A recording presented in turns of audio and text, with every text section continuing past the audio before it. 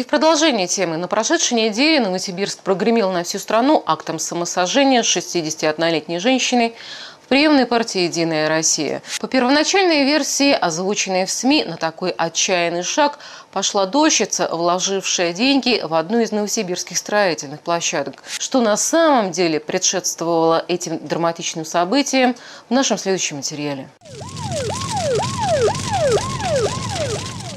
Сообщение об этом ЧП поступило на пульт пожарной охраны в 11.35. На место сразу была отправлена техника под так называемой повышенной категории вызова номер два. Из окон шел дым, в здании находились люди. Начальник караула первой пожарной части объявил вызов номер три.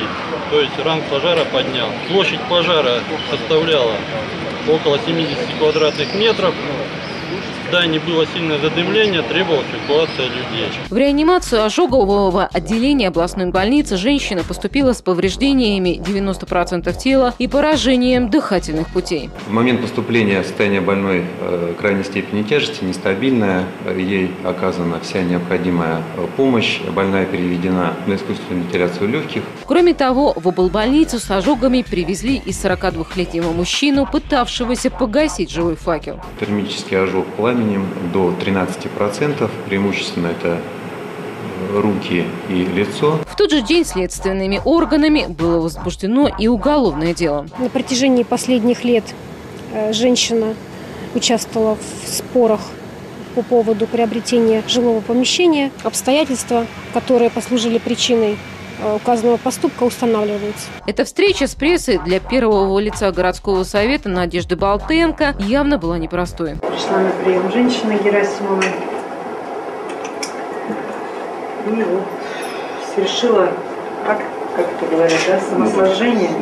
Первый раз она к нам обратилась 2 сентября 2011 года по вопросу обжалования решения Центрального районного суда в отношении мошеннических действий ООО «Новосибирская строительная компания» Спичка на этой бочке с порохом была зажжена еще в ноябре 2007 когда Валентина Степановна подмахнула предварительный договор с обществом с ограниченной ответственностью «Новосибирская строительная компания». В соответствии с ним в перспективе предполагалось заключить и основной договор участия в долевом строительстве. Это значит, что в конце 2007 у компании еще не было пакета документов, которые позволяли бы в соответствии с 214 федеральным законом привлекать деньги на площадку от физических лиц. Одновременно с предварительным договором Валентина Степановна получила и два простых векселя Новосибирской строительной компании на общую сумму 1 миллион 455 тысяч рублей. Дальше, как это нередко бывает, основной договор не был заключен в срок, возникли претензии и к качеству строительства. За сим свои партнерские отношения с НСК было решено аннулировать. В апреле 2010 в депозит нотариуса компания перечислила деньги, которые Валентина Степановна получила в июля. Ну и что, спросит непросвещенный зритель? Вроде бы и дом построен, и деньги возвращены. Где же повод облить себя бензином? Это так, ну не совсем. Итак, средствами своей клиентки компания беспроцентно пользовалась больше двух с половиной лет. Но за время пути инфляционная собачка, как говорится, могла и подрасти. Ну,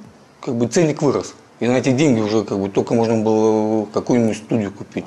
Алексею обо всем случившемся с мамой говорить сегодня непросто. Тем более, что то роковое утро начиналось как обычно. Поначалу как бы она нормально первые три года, четыре. Потом уже, конечно, это нервы сдавать стали, как бы. Ну, до такого, как бы, я не, не думаю, что она, как бы, ничего не предвещала абсолютно. В 2010-м областной фонд защиты прав потребителя отстаивал права пенсионерки в суде, пытаясь признать деньги, полученные НСК по векселю, задатком. Гашение векселя а, по времени совпадает с моментом передачи квартиры. У меня была удачная судебная практика, когда суд расценивал такую а, переданные денежные средства как задаток и взыскивал двойную сумму задатка. Но суд исковые требования и последующую жалобу отклонил. Так порочный круг замкнулся. Она, скажем так, ну, действительно психически нездорова. Ну, прямо глаза такие, ну, практически были белые, то есть зрачок и белые глаза, то есть не было видно радужной оболочки. А почему вы вправе говорить, что она больна? Я вправе выразить свое личное мнение. То есть вы считаете, что лично, что она больна? Да, я считаю, что лично, что она больна. Представитель компании, который, как заправский врач, на раз ставит диагноз, почему-то плавает в ответе на вопрос, какой была реально просрочка заключения основного договора. Я не могу сказать, я просто не помню. Не помните? Нет.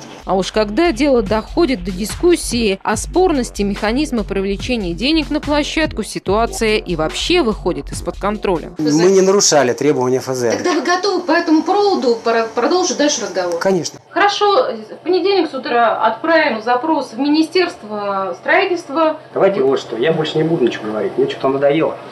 До свидания на этом. Вообще Новосибирску за последние годы не единожды приходилось видеть протестные пикеты обманутых дольщиков. К ним обыватель уже как-то попривык, со скукой обходя толпу с мегафоном. Но вот чтобы так добровольно обречь себя на мучительно невыносимую боль, такого еще не случалось. Я бы согласился здесь с министром, да, если бы он представил отчет, сейчас сказал, да, мы выявили там 20 таких компаний, по 20 подали иски, ну вот есть у нас еще несколько компаний, по которым мы просто не знали, да, но получается они вообще никогда ни по кому не обращались. Может быть, наконец-то пришло время провести тотальную проверку и выяснить, кто и на каких условиях в Новосибирске берет деньги у доверчивых инвесторов.